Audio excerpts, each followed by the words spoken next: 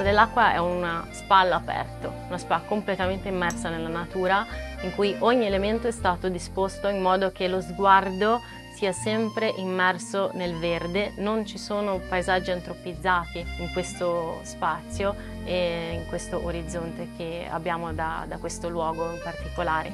Abbiamo desiderato che fosse proprio un po' più in basso in modo che garantisse la completa privacy agli ospiti che la utilizzano.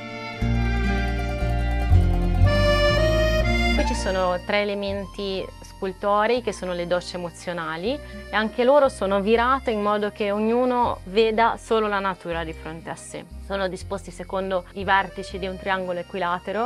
Questo tipo di dimensioni, questo tipo di geometria crea un centro energetico ed è questo l'elemento dell'aria che abbiamo qua nel giardino. E poi c'è l'elemento ovviamente dell'acqua che ritroviamo nella tinozza idromassaggio, è una tinozza rustica in legno che viene riscaldata al bisogno tramite una stufa e l'elemento di combustione è il legno del nostro bosco. Docce tinozza e sauna a botte con un oblò sulla Val di Cornia. Questi tre elementi garantiscono un'esperienza un completamente rigenerante agli ospiti che soggiornano presso la Gualda Vecchia.